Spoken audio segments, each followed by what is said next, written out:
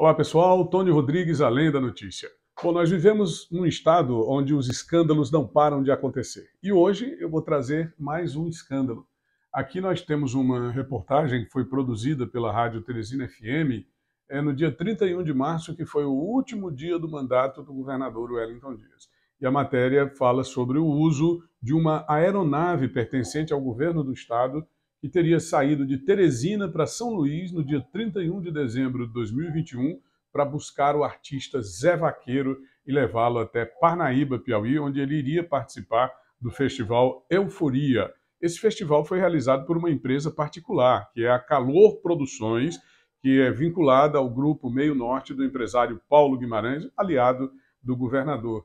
O cantor eh, se apresentou em Luiz Correia e depois ele foi trazido de volta para Teresina a fim de embarcar para o seu destino. A Teresina FM noticiou no seu programa, aliás, nos seus programas jornalísticos, porque essa matéria circulou inclusive é, nos uh, grupos de WhatsApp, várias redes sociais, uh, que por meio de ofício uh, solicitou aos órgãos diversos do governo do estado informações com base na Lei Nacional de Acesso à Informação para confirmar a afirmação, não é? Então foram encaminhados ofícios para o Gabinete Militar da Governadoria, ao Departamento de Controle do Espaço Aéreo, DSEA, a Empresa Brasileira de Infraestrutura Aeroportuária, a Infraero, que administra o aeroporto de Teresina, o senador Petrônio Portela, até aquele, aquela data, e também para a atual administração do aeroporto, solicitando plano de voo de aeronaves do governo do Piauí no dia 31 e a identificação de passageiros e tripulantes. Agora, para que você tenha a noção exata é, da resposta, foi nenhuma. Ah, o gabinete militar, por exemplo, informou que não houve solicitação de voo para aquele dia 31 de dezembro, mas também não apresentou se o voo foi solicitado por qualquer outro órgão do governo, por exemplo, a Secretaria de Turismo ou a Secretaria de Cultura. O fato é que persiste a denúncia. A lei número 131/2009, que é a Lei Nacional de Acesso à Informação, ela diz que é, o, os, os órgãos públicos são obrigados a prestar informações sobre aquilo que lhes é solicitado, exceto quando se tratam de órgãos vinculados aos governos petistas. Esses não se veem na obrigação de cumprir a lei. Pelo contrário, eles afrontam a lei eles fazem com que a lei sirva aos seus interesses. A gente viu isso recentemente no episódio de um elemento condenado por corrupção, cuja soltura e liberação propiciou a soltura e liberação de outros 200 corruptos. E é aí onde nós começamos a perder a luta contra a corrupção. Mas olha, é, o repórter Eduardo Costa, ele solicitou também uh, o a Infraero e a atual administradora do aeroporto, que não encaminharam nenhuma resposta. A reportagem esteve lá, funcionários de ambas as empresas informaram que somente o DCE poderia conceder a informação. O Departamento de Controle do Espaço Aéreo afirmou que os planos e notificações de voo são documentos considerados pessoais, pois se referem à intenção de voo de pessoas específicas. Por isso, só são divulgados se forem objeto de investigação e a pedido da Justiça a justiça tem que se manifestar.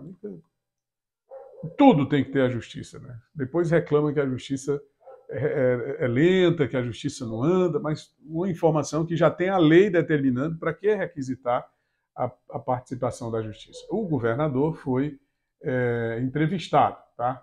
Ele foi entrevistado e naquele momento ele ele deu a sua resposta que foi nenhuma. Eu tenho inclusive aqui um trecho da gravação é, que foi feita pelo jornalista, jornalista da Teresina FM, que se chama aqui o Eduardo Costa, onde o governador deu aí a sua a sua entrevista e onde não falou nada também, né? Ele primeiro negou, disse que não tem nada comprovado, depois disse que que se houve foi no contrato e os contratos são feitos com base na legalidade. Eu pergunto só o seguinte: contrato entre o governo do estado e uma empresa privada para buscar um cantor Quer dizer, o governo já está pagando a empresa privada pela realização do show. Ainda tem que pagar por todos os custos dessa empresa adicionais. Por exemplo, o cara vai buscar em São Luís porque ele estava em São Luís. Tudo bem, a empresa pode, a empresa paga. mas eu tenho que pagar? Você, que é aqui do estado do Piauí, está me assistindo agora, tem que pagar? Que absurdo é esse? Entendeu? Olha o que é que diz o governador. Falou sobre denúncias aí no seu discurso, inclusive, Vou mais aqui pra... aí, teve uma relacionada à disponibilização de aeronave do governo para pegar cantores para um show no Euforia no final do ano. Como é que você analisa essa denúncia? Foi comprovado. Tudo que é feito é feito com contrato. Se o contrato prevê que tem acesso, faz, como em todos os lugares, depende do contrato. Né? O Estado coloca é, nos seus contratos as obrigações. Então, não fizemos nada fora da legalidade, isso eu tenho certeza.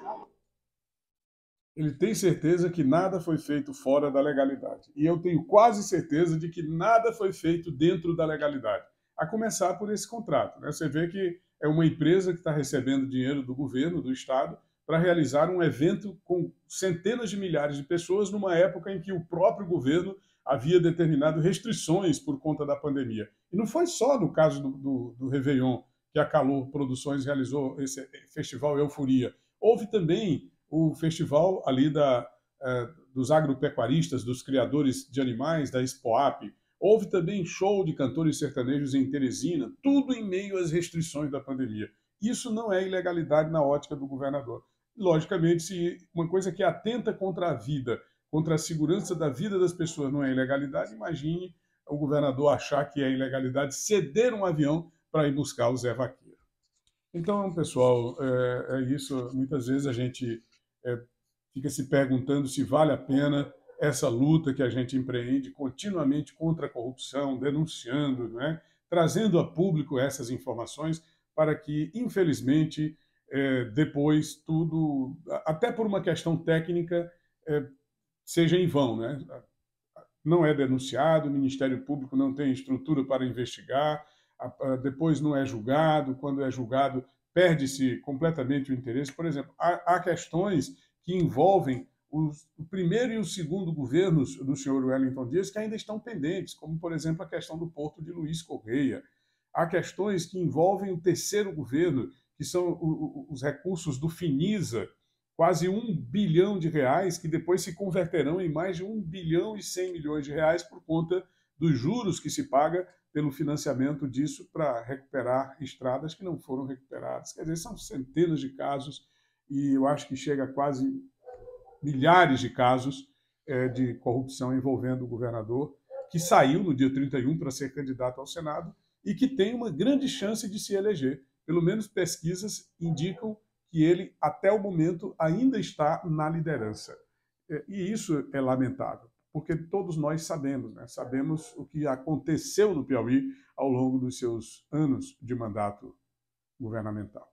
Eu sou o Tony Rodrigues e aqui, além da notícia.